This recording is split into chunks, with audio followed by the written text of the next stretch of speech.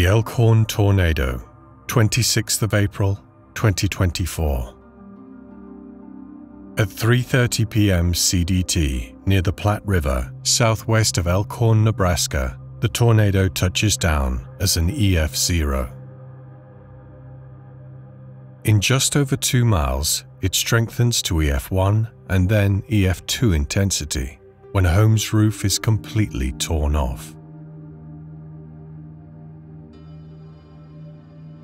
On Pacific Street, a farm building suffers a partial collapse when a large section of roof is destroyed. On West Dodge Road, hardwood trees are snapped.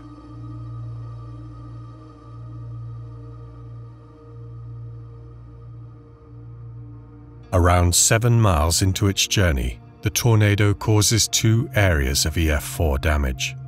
Three homes are completely destroyed and their slabs are swept clean.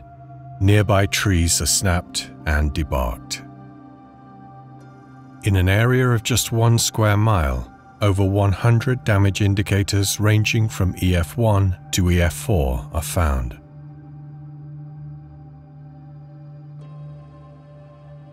For a short time, the tornado crosses open countryside.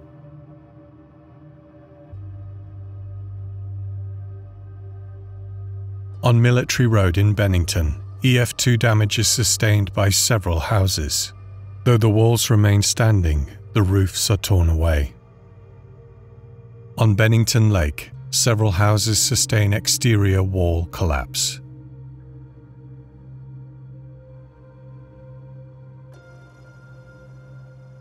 On Dutch Hall Road, small barns and outbuildings are destroyed. County Road 29, trees are debarked and all of a house's walls are collapsed. Kramer Lane, a farm building is destroyed and a house shifts off its foundations. On County Road 36, only the inner walls of a house are left standing. Similar destruction of exterior walls is found less than a mile away. The tornado crosses State Highway 133. On Sundown Drive, EF4 damage is caused when a home is completely destroyed, leaving just a basement and rubble. Blue Spirit Lane. The exterior walls of a house are collapsed.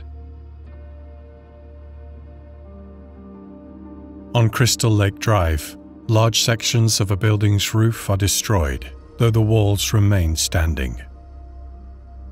Near the Corbion industrial plant, several parked train carriages are derailed.